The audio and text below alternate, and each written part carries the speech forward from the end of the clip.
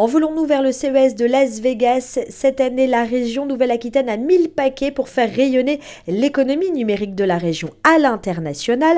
Pour bien mesurer les enjeux de ce salon, il faut savoir que c'est ici au CES de Las Vegas qu'ont été présentées plusieurs innovations majeures telles que le magnétoscope VHS. Le CES se déroule dans plusieurs hôtels de la ville. Welcome to fabulous Las Vegas on TV set Bardot.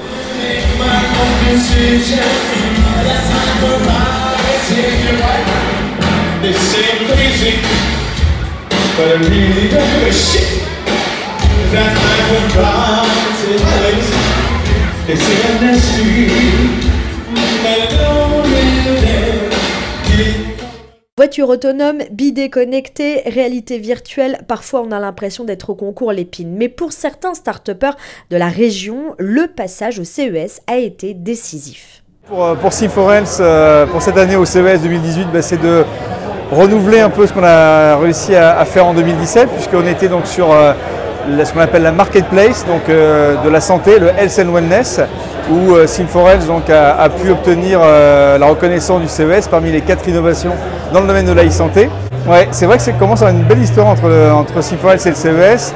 L'an dernier, ça a été vraiment magique, ça a changé la donne de l'entreprise puisqu'on a, on a, grâce à cette reconnaissance, développé euh, d'abord des partenariats avec pas mal de structures. Bah, d'une part avec HTC Vive, mais aussi on a pu euh, euh, ouvrir un distributeur en Chine avec quatre hôpitaux. Et puis on vient de remporter il y a quelques mois un très beau contrat avec un, un des acteurs du dispositif médical américain qui est venu à Bordeaux, dans nos locaux, à Bordeaux, découvrir les équipes et on a signé un contrat avec eux. c'est bien sûr en termes d'image, notoriété, mais c'est aussi euh, bah, de l'emploi parce que ça a permis de soutenir euh, le développement d'entreprise.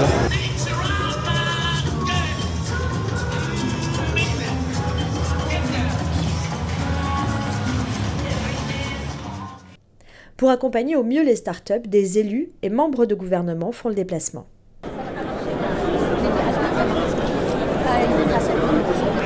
de choses tout au long de votre séjour.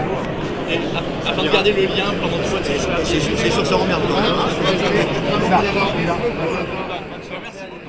Mouniar Majoubi a apparemment bien flashé sur ce petit boîtier que l'on pourrait comparer à un post-it numérique.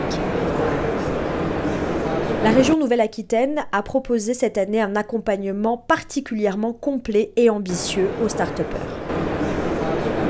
Mais c'est une grosse machine que, que la région met en place. Euh, les entreprises, on les a déjà accompagnées au sens financier du terme. Alors il reste plein de défis et un conseil à faire, euh, à faire prévaloir, euh, c'est que nous allons compléter nos outils, notamment les outils de fonds propres. Parce que le risque de ces entreprises qui sont des start-up ou des PME, c'est qu'elles soient vite cannibalisées, que leur créativité soit achetée par un grand groupe ou par euh, un fonds euh, vautour. Si on veut garder la valeur, il faut qu'on mette en place, euh, un peu à la mode californienne, les outils qui vont bien pour que l'entreprise grossisse, qu'elle aille au marché plus rapidement et qu'elle puisse se développer et qu'elle ne soit pas obligée de se vendre au bout de deux ou trois ans certains start de la délégation ont réussi à se faire remarquer, notamment grâce à un award de l'innovation. Alors l'award effectivement nous permet de faire de la com déjà en avance parce qu'il est annoncé que nous avons euh, notre produit qui est exposé parmi tous les awards. Donc forcément il y a des gens qui passent euh, parmi, euh, parmi les awards et qui regardent seulement ça et qui ensuite vont voir sur les stands pour discuter avec nous. Avoir en gros affiché derrière nous un award forcément ça rend les gens un petit peu curieux. On a un trophée sur la table, ça les rend curieux également, donc ça attire un peu de monde, c'est très intéressant. On a déjà eu beaucoup de contacts, alors liés ou non à cet award, qui sont très intéressants pour nous et qu'on espère développer euh, dans les prochaines semaines ou mois. Alors, je ne sais pas dans l'histoire du CES et de la délégation française combien de startups ont réellement réussi après le CES à percer sur le marché américain. J'aimerais bien avoir des noms. Euh, ça fait du bien à la France, ça fait du bien aux startups euh, qui sont là parce que l'endroit est quand même assez impressionnant et assez, je dirais, enthousiasmant pour des geeks entrepreneurs. par contre, c'est très cher, c'est très, ça consomme beaucoup de ressources humaines et, financières.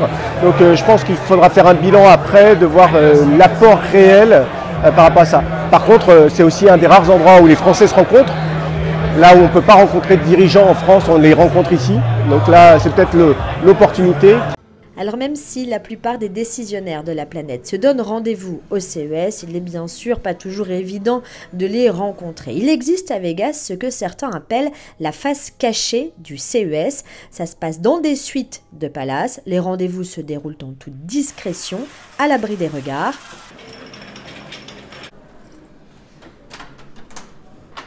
Bonjour Olivier. Bonjour, vous allez bien? Et vous Hop. C'est par là.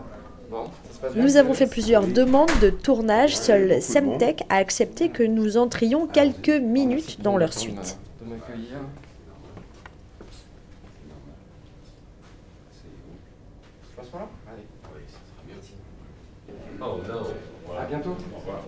Bon ben voilà, ça y est, le, le rendez-vous est fait. Euh, voilà, ça s'est très bien passé. Bon là c'est en l'occurrence pour moi euh, des gens que je connais assez bien depuis pas mal de temps. Euh, donc c'est assez facile d'ouvrir euh, les portes. La première année, ça a été plus compliqué. Euh, bah, la première année, sur certaines, j'ai carrément, je suis carrément monté, j'ai pris l'ascenseur et je savais qu'ils étaient là et, et, et je, suis, euh, je me suis pointé à leur porte. Alors ce CES de Las Vegas a-t-il été vraiment fabulous Le CES s'est extrêmement bien passé, ça nous a permis de rencontrer plusieurs grands groupes immobiliers avec qui on a déjà des rendez-vous à la rentrée. Je l'avais déjà fait l'année dernière, c'était déjà énorme, ça nous a permis de signer des contrats, c'est très concret le CES.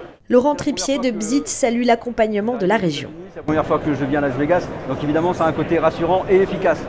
Parce que la préparation d'amont qu'il y a eu nous a permis de nous, euh, d'éviter tous les petits pièges euh, liés à la téléphonie, euh, liés au chargeur de batterie, euh, liés aux cartes de visite, euh, liés au pitch de 15 secondes, 30 secondes, une minute.